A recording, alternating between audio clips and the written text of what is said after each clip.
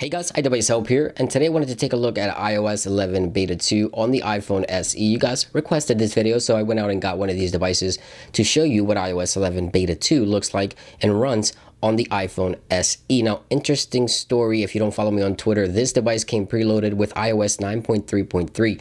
And if you follow the jailbreak scene, you know that's probably one of the best jailbreaks out there. So I updated, uh, I couldn't get myself to, but I did just to make this video. But no worries, I have another rose gold iPhone SE that's jailbroken on that software, so no big deal. Let's begin. Now, first things first, let's get a few things out of the way. The iPhone SE is probably one of the most underrated Apple iOS devices. Now, the reason for that, I think, is because it looks very similar to the iPhone 5, right? But this iPhone is no, no iPhone 5. Look at that, Apple's A9. And I did run some quick tests here.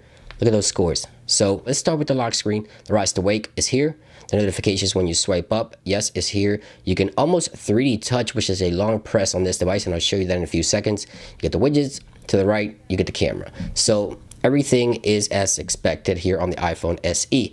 Now check out the control center, probably one of my best and favorite features of iOS 11 by far. So you can long press and bring up the platter. You got all your controls just like you do on a 3D touch device like an iPhone 7. So everything is identical. I'm super happy that Apple did this and brought the long press onto these devices, including the brightness here. You have one swipe for all right here, swipe. Just really really cool stuff here that apple went ahead and did this on the iphone se i want to go ahead and show you here launching applications on ios 11 beta 2 on the iphone se you see no hiccups nothing is slowed down everything is running as you would expect. So performance wise honestly the best experience in ios 11 so far has been iphone se believe it or not. And the great thing about iphone se is one-handed use. I can reach the entire keyboard with one hand. It's very comfortable to use. The device lacks no performance. Now, did Apple take away some of the features that you get on newer devices on this one? Well, let's go ahead and find out. Let's go ahead and push the camera here and let's go ahead and use the live photo feature, which has the new loop effect here. So I took a photo. I can just swipe up here and you see that nothing is missing. You have your loops, your bounce, and all those effects that you can apply with a newer device. You have those here on the iPhone SE as well. So you're not missing out on anything when it comes to features in the camera. Of course, the difference on the iPhone 7 Plus being the portrait mode, but that requires the dual camera sensor.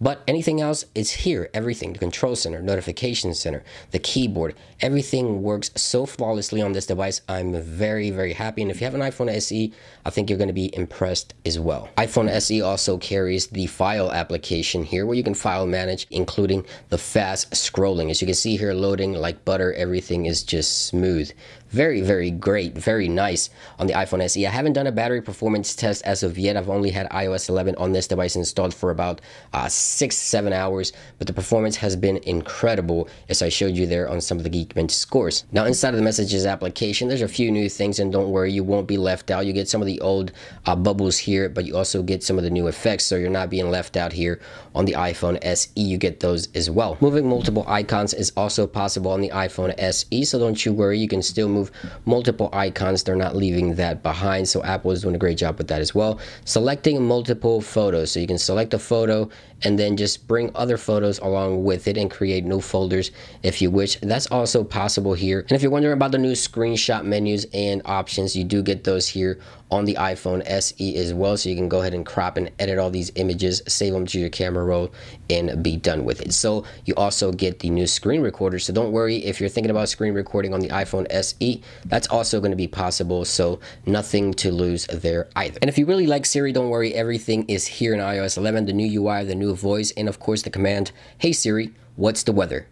It's currently clear and 91 degrees and Clearwater. And of course, you get all the information, the brand new layout, the new uh, voice from Siri, male and female. So if you like Siri, don't worry, it's fully featured here in iOS 11 Beta 2. So all in all, the iPhone SE is probably the best experience so far running iOS 11 with no hiccups. Now, a few things that the iPhone SE can do great, in my opinion, greater than other devices, is the one-handed use. So the ease of use is here.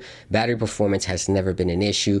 Performance-wise, the device has no issue uh, running through iOS 11 like it's nothing. So you're not going to run into any issues when it comes to performance or any anything like that on the iPhone SE. And if you like a more compact design, definitely consider uh, getting an iPhone SE. I don't think you're going to regret it. I love the iPhone 7 Plus, but there's just something about this legendary device that really appeals to me. So anyway, guys, that about brings it into this video. Hope you enjoyed it. Make sure to click that like button if you did. It's been iDevice Help. I hope you guys have a great day, and I'll see you real soon. Peace.